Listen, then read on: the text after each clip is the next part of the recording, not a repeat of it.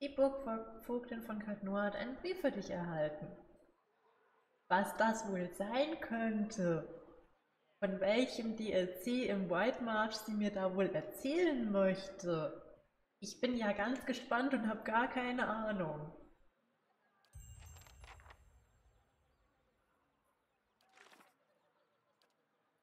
Genau. Jetzt darf ich nämlich theoretisch ins DLC starten.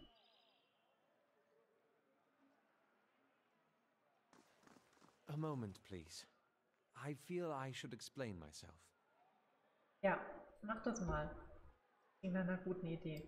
About my episode in the catacombs. There's something I should have told you earlier.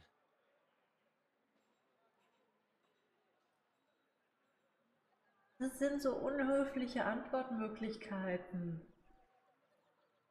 Einfach abwarten, jetzt spuck's schon aus und das ist aber eine Untertreibung. Wo ist das, das typisch Lin-mäßige, mitfühlende? Ja, was gibt's denn? Ich bin doch für dich da. Kannst mir alles erzählen. Gut, dann gehen wir halt mit der leicht sarkastischen Variante. Das ist eine Untertreibung. Er faltet seine Hände zusammen und massiert einen Fingerknöchel mit seinem Daumen. Ich wollte dir nichts Böses. Ich dachte, ich könnte es für mich selbst behalten, dass wir uns nach der Lösung deines Seelen, deiner Seelenangelegenheit auch um mein Problem kümmern würden. Erzähl mir von all deinen Problemen, Schätzchen. Deine Probleme sind auch meine Probleme. I also have an awakened soul. But unlike yours, mine is a presence that shares my senses and my skin, making herself manifest at the most unwelcome times. Er schließt die Augen und beißt die Zähne zusammen. Seine erbebenden und zuckenden Lippen legen Zeugnis über einen internen Disput ab. Mehrere Sekunden später öffnet er wieder seine Augen, die nun Tränen und Blut unterlaufen sind. Uh. I'm sorry. I've tried to learn to control Isilmir. I've gotten stronger, but so has she. Und warum hast du mir das nicht früher gesagt? Wir sind doch Freunde. Ich habe dir auch von meinen Seelenproblemen erzählt. Wir können doch Therapie-Buddies sein. Und gerne auch mir. Also ja, warum hast du nicht früher was gesagt? I learned to keep her a secret a very long time ago. Those with awakened souls are shunned, mistrusted. And after your experience with Meerwald, I'm certain you can see why. You need to be careful. Ja, bin ich. Aber hey, im Gegensatz zu Meerwald hast du wenigstens noch eine weitere Persönlichkeit, die in dir wohnt. Er hatte keine Ahnung wie viele. genau, zweier Stuhlkreis. Ja. Ja. Gut, aber ich muss gestehen, also bei ihm würde ich die Selbsthilfegruppe auch ins Bett verlegen. Das hätte ich kein Problem mit. Muss nicht ein Stuhlkreis sein. Erzähl mir mal von der Isilmir. Artless, uncouth, a creature of rash impulses and feeble faculties. She wags her impertinent tongue when she should listen. Ja, du kannst dir offensichtlich super gut leiden. Aye, this one's fit to boil. Hard to get this gaff over anything tisn't to do with books and spell speak.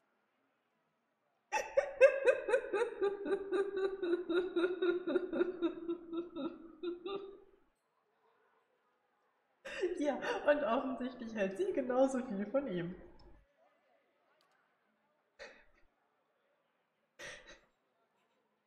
Das ist so gut. Er zieht eine Grimasse und fährt sich mit den Händen durch seine Haare. Ich habe keine ihrer Erinnerungen. Das wenigstens hat mir Barrett erspart. Ihre derben Manieren und ihr unerträgliches. Ähm, hier, hier steht Heelish, in, im Original heißt es Heelspeak. Lassen aber auf eine Provinzbewohnerin schließen, die vor sehr, sehr langer Zeit gelebt hat. Meistens kommt sie ganz kurz vor einem Konflikt hervor, wenn die Lunte schon heruntergebrannt ist und die Zähne gefletscht sind. Und wenn sie auftaucht, dann hält sie nicht inne, um die Situation zu beurteilen. Vielmehr handelt sie einfach. Ähm, sie scheint rücksichtslos zu sein. Klingt so, als könntest du ein paar Hinweise von ihr gebrauchen.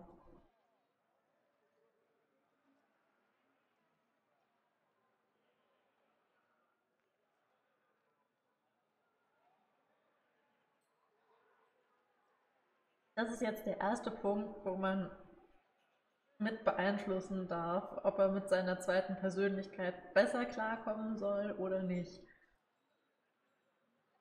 Weil wenn man ihm konsequent sagt, du, so schlimm ist sie doch gar nicht, die will dir doch gar nichts Böses, dann kommen sie miteinander irgendwann besser klar.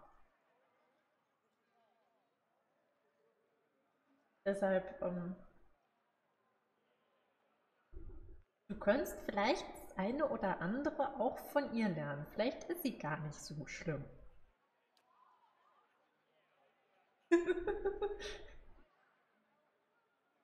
Hinweise oder eher vulgäre Ausdrücke? Er verdreht seine Augen verschränkt die Arme vor seiner Brust. Ich musste schon Jahre mit diesem Landei leben.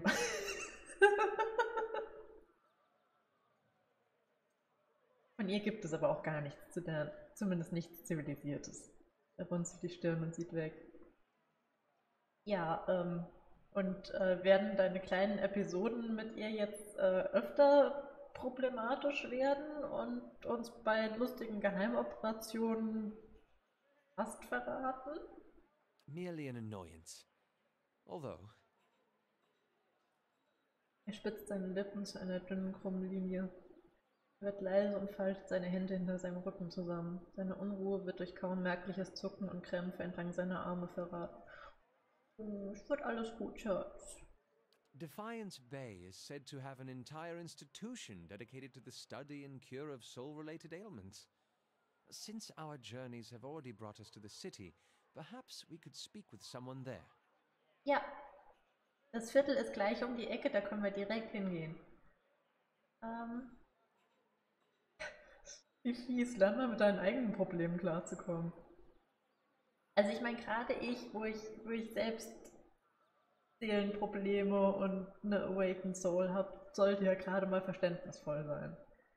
Ähm, ja, versprechen kann ich nichts. Wie, wie fies. Natürlich, wenn dir das hilft, gehen wir da sofort hin.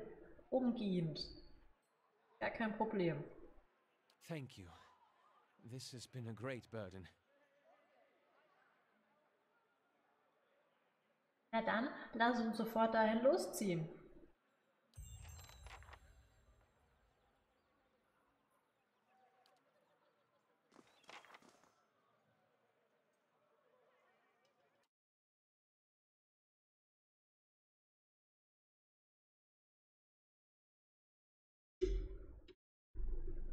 So, und das ist jetzt der Moment, wo ich meinen kleinen Fangirl-Moment ähm, loswerden muss. Und ihr müsst es leider ertragen, weil ihr seid anwesend, ihr seid mein Chat und ähm, ich erzähle hier eh, was ich will. Ich finde ja gutes Voice-Over sehr, sehr wichtig. Und ich stehe auf schöne Stimmen. Und ein großer Anteil dessen mal von Aussehen und Charakter abgesehen, warum ich ihn so mag, ist die Synchronstimme. Ja, nix oje, Hase. So schlimm wird's jetzt auch nicht. Deshalb habe ich irgendwann gegoogelt, wer denn die Synchronstimme von ihm ist, weil ich damals noch nicht so viel Ahnung von Voice Actors hatte. Und habe herausgefunden, dass das ein Herr namens Matt Mercer ist. Damals wusste ich nicht, wer das ist. Mittlerweile weiß ich, dass er der Dungeon Master von Critical Role ist und ein super cooler Typ und das Critical Role cool, cool ist. Habe ich aber erst kürzlich angefangen zu gucken, also ähm, ich habe den Hype ein bisschen verpasst. Ja, worauf ich aber eigentlich raus will, ist, dass ich beim Nachlesen, und ich weiß nicht, ob das vielleicht jemandem aufgefallen ist, weil mir ist es damals beim Spielen nicht aufgefallen, ich habe beim Nachlesen rausgefunden, dass er auch die Stimme vom Eder beigetragen hat. Und ich war total fasziniert, wie jemand zwei Charaktere, die man auch noch in demselben Kaff aufgabelt, direkt hintereinander gesprochen hat und ich einfach nicht gecheckt habe, dass das dieselbe Stimme ist. Und dann ist der eine Charakter auch noch jemand mit zwei Persönlichkeiten. Das heißt, im Grunde hat er fast drei Charaktere gesprochen und sie klingen alle unterschiedlich und ich finde, das ist so ein unfassbar krasses Talent, von, bei dem ich ein bisschen neidisch bin.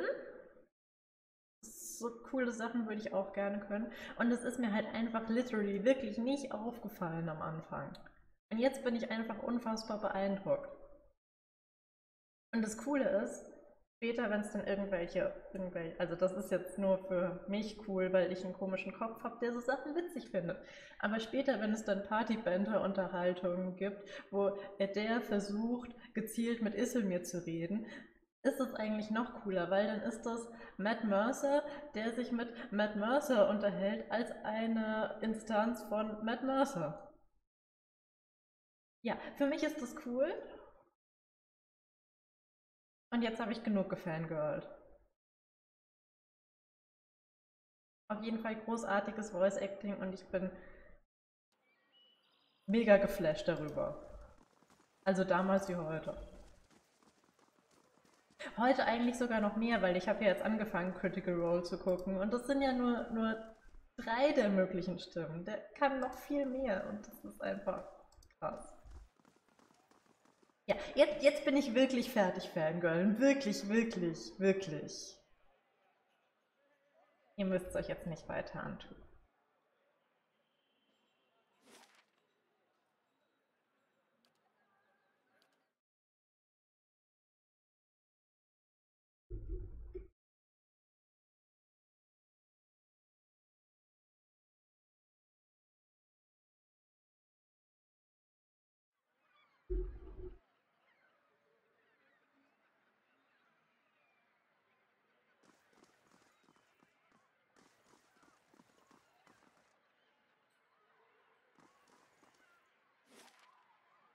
Mensch, passenderweise sind wir direkt beim Sanatorium. Was ein Zufall. Gods keep you. Und du bist? Eine Frau steht im Schatten des Gartens und murmelt vor sich hin. Sie ist auf die Seiten eines großen und abgewetzten Buchs fixiert und scheint die blühenden Blumen und die kühle duftende Brise gar nicht zu bemerken. Sie blickt erst auf, als der Schatten über ihre Seite fällt. Darf ich bitten, ich bin sehr beschäftigt. Äh, mit was denn? Sie schlägt ihr Buch zu. Ich studiere die Seelenbefestigung. Wir wissen alle, dass bei der Geburt eines Menschen eine Seele in ihn fährt, die ihn beim Tod wieder verlässt. Aber wir haben noch viele Fragen darüber, wie sie sozusagen kleben bleibt. Mit Uhu alles Kleber. Oder war es Patex? Ich weiß es nicht. Ich mache keine Schleichwerbung. Äh, was meinst du mit kleben bleiben? Sie wischt sich eine lose Haarsträhne aus der Stirn. Die Seele gibt dem Körper Energie und dem Gewebe Leben, aber nur wenn sie fest an ihm befestigt ist. Ist sie das nicht, so kann eine ganze Reihe von Seelenkrankheiten entstehen, darunter auch die Hollowborn.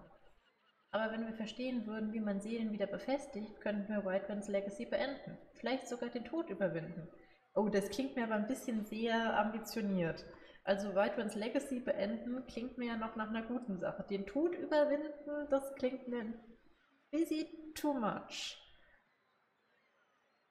Werden wir mal nicht großen wahnsinnig hier. Sie kratzt sich hinter dem Ohr. Das ist jedenfalls die Theorie. Leider fehlen mir einige Forschungen, um sie in die Praxis umzusetzen.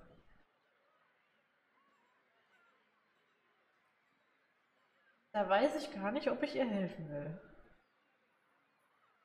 Was genau brauchst du? Genau, das ist das Problem mit Animancern. Ihr doktert an irgendwelchen Dingen herum, die ihr nicht versteht. Genau das.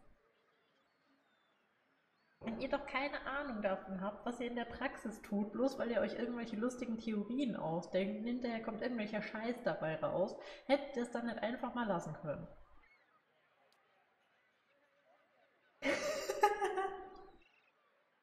Gut gesagt, es gibt doch noch vernünftige Leute in diesem Land. Ja, ja. Bin unfassbar vernünftig. Nadine verschränkt die Arme über ihrem Buch. Zumindest versuchen wir etwas zu unternehmen. Die einzigen echten Fortschritte im Kampf gegen das Legacy basieren auf unseren Forschungen. Leider haben unsere Kritiker dafür gesorgt, dass die Öffentlichkeit sich nur an unsere Fehlschläge erinnert, nicht an unsere Erfolge. Seufzt, was es recht schwierig machen kann, an die Informationen zu gelangen, die wir brauchen. Ja, vielleicht solltet ihr auch gar nicht irgendwie wieder wild an Leuten rumprobieren, um Informationen zu kriegen. Vielleicht wäre es gut, einfach mal nicht mit gefährlichen Dingen zu experimentieren. Es ist genau wie diese Leute, die sich Drachenforscher nennen und sich den Drachen von ganz nah, am besten seine Zähne in seinem Maul befindlich angucken müssen. Ist einfach keine gute Idee. Das hat mit Forschung einfach nichts mehr zu tun. Hey, natürlich bin ich vernünftig. Ich mag Leute ausrauben und moralisch graue Entscheidungen treffen.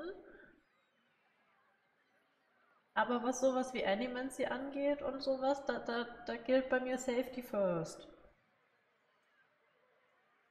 Oh, ich sollte mal diese blöde Wodeka-Kapuze absetzen, fällt mir gerade auf. Bah, ist die hässlich.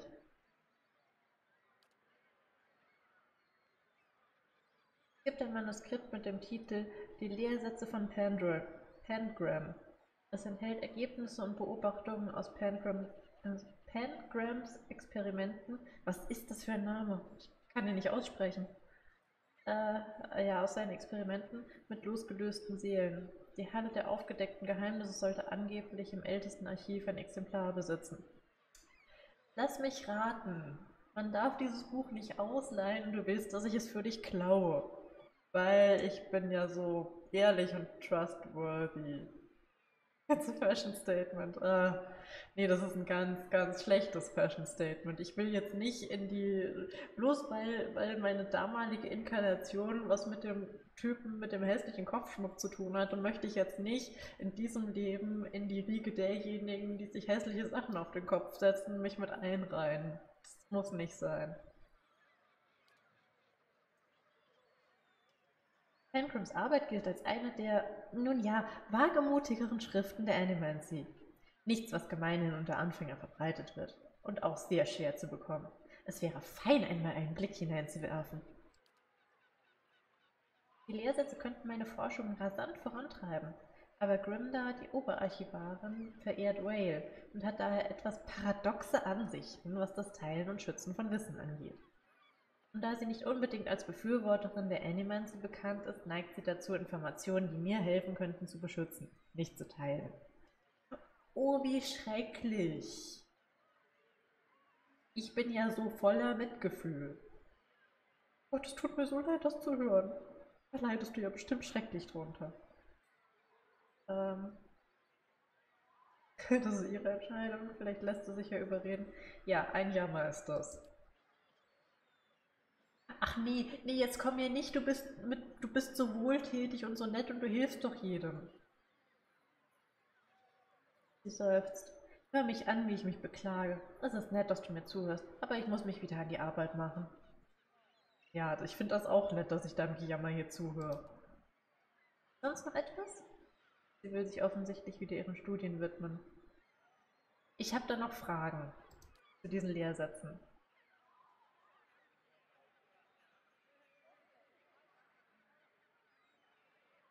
Warum will die dir das Buch nicht leihen? Die Halle der aufgedeckten Geheimnisse hütet ihre Bücher wie ihren Augapfel, besonders die seltenen unter ihnen. Und ganz besonders Grimda. Sie hasst die Animancy, hält sie für gefährlich. Ja, warum nur? Mir ist nicht klar, wie man die herausragendste Bibliothek des Deerwood leiten und sich gleichzeitig so gegen die Verbreitung von Wissen und Forschung sperren kann, aber ich habe diese religiösen Fanatiker noch nie verstanden. Alaf blickt die Animancerin zornig an. Manches Wissen sollte lieber im Verborgenen bleiben. Exactly. Genau das meine ich auch. Äh, ja, dann erzähl mir mal was über diese Halle der aufgedeckten Geheimnisse. Du findest sie im Bezirk Copper Lane. Ist dem Gott der Geheimnisse und Enthüllungen geweiht. Vor allem aber beherbergt sie die größte und umfassendste Bibliothek in Deerwood. Nun, damit ist es entschieden. Wir müssen es uns einfach ansehen gehen, oder? Oh, er ist so süß.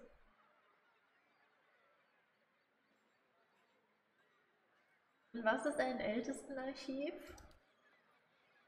Im Ältestenarchiv befinden sich die seltensten, arkansten und mächtigsten Schriften im ganzen Deerwood. Er ist sozusagen das innere Heiligtum der Halle der aufgedeckten Geheimnisse. Es versteht sich von selbst, dass man es nur mit Grimdars Erlaubnis betreten darf. Okay, und jetzt nochmal dieses Buch, was du da suchst. Pangrim war ein Animancer, der im Deerwood arbeitete. Er hat einige interessante Theorien zur Essenz und einige recht innovative Techniken entwickelt, um sie zu studieren. Er konnte Seelen nach dem Tod wieder am Körper befestigen. Ah, das klingt nicht gut. Auch wenn es ihm nicht gelang, die Degeneration seiner Patienten aufzuhalten. Er war umstritten, um es vorsichtig zu sagen, aber inzwischen erkennen viele, dass er einfach nur seiner Zeit voraus war. Bitte was? Er hat, nachdem derjenige verstorben ist, seine Seele wieder eingefangen und sie dann wieder am verrottenden Körper festgebunden. Oh, er war so ein brillanter Forscher, der seiner Zeit voraus war. Er war gar kein verkappter Nekromant oder einfach nur ein Scharlatan und Stümper. Mhm. Ganz bestimmt. Ganz bestimmt war der Mann seiner Zeit einfach nur weit voraus. Boah. Du unterhältst dich fünf Minuten mit einem Animancer und danach möchtest du dich selbst in ihr Scheiß-Sanatorium einweisen. Was ist jetzt mit der Degeneration? Wie, wie faulig waren die dann? Ne, den bringt die Hände. Nun, es scheint ein kleines Problem damit zu geben, Seelen nach dem Tod wieder zu befestigen. Die Körper werden wiederbelebt und können sogar Erinnerung und Persönlichkeit beibehalten, aber sie entwickeln einen Hunger nach Fleisch, nach lebendem, beseeltem Fleisch. Ja, ihr erschafft Zombies. Wunderschön. Das ist aber eine ganz, ganz tolle Forschung, die ihr da betreibt.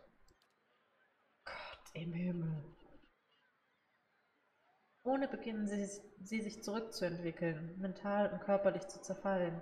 Wenn der Prozess zu weit fortschreitet, was er früher oder später tut, werden sie zu Leichen ohne Verstand, die alles angreifen, was sich bewegt. Wir konnten noch keinen Weg finden, das zu verhindern. Dass ihr das überhaupt versucht habt, das schockiert mich. Nicht, oh mein Gott, wir konnten ja gar nichts dagegen tun, dass unsere armen, wieder animierten Leichen die ganze Zeit Leute fressen wollen. Ja, belebt sie halt nicht wieder. Wie wär's mit der Lösung?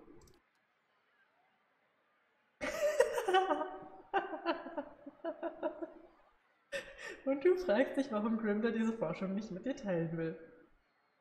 Ja. Da sehe ich auch gar keinen Grund dafür.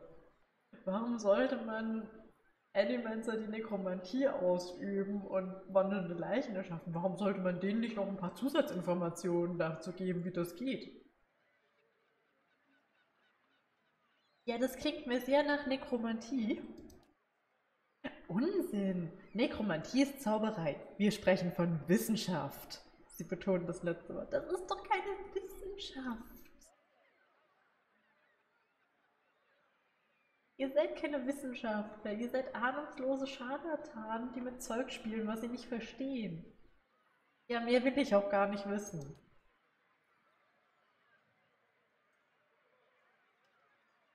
Erzähl mir noch was über dich, komm. Meine Sanity ist eh schon am Eimer. Ich bin Animancerin im Sanatorium. Im Moment erforsche ich einige Dinge, die im Zusammenhang mit Whitewinds Legacy stehen. Oh mein Gott, ich habe noch nie davon gehört. Was ist denn Whitewinds Legacy? Whitewinds Legacy nennt man den plötzlichen Anstieg an Hollowborn-Kindern im Deerwood in den letzten Jahren. Einige vermuten auch eine Verbindung zu sogenannten Beowicks, die durch Erglanfaft blasen. Zu ihnen gibt es aber kaum verlässliche Daten, da, da, daher kann ich dazu nichts sagen. Ach du, ich habe ja eigentlich zwei davon überlegt. Ich kann, überlebt, ich kann dir da Daten geben. Oder wenn ich sehe, dass irgendwo der nächste stattfindet, kann ich dich rufen und du kannst ganz nah rangehen und den dir von ganz nahem angucken, so wie die Drachenzähne. Das ist Forschung, glaubt mir, sehr wertvolle Forschung. Und ich möchte dich nicht davon abhalten. Merkt man, dass ich sie nicht leiden kann? Nee, ne? Versteckt das ganz gut, glaube ich. Sie zieht die Nase hoch. Ich mag den Namen White Legacy nicht. Er stinkt nach Aberglauben. Aber er ist schon so, zu etabliert, um ihn zu ändern. Mir wäre es lieber, die Leute würden an solche Dinge methodisch herangehen, anstatt einfach die Hände in die Luft zu werfen und den Göttern die Schuld zu geben. Da mag sie tatsächlich recht haben. Dass das passiert ist, nachdem sie den Wild Run auf der Brücke in die Luft gesprengt haben, kann ja auch ein Zufall sein. Es könnte ja auch von was anderem kommen.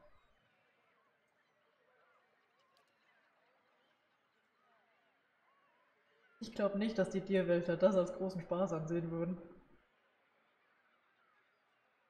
Ja, dann äh, lasse ich dich mal weiter mit deinen komischen Nekromantie-Forschungen spielen. Ach nee, nee, ist, ist ja keine Nekromantie, ist ja Wissenschaft.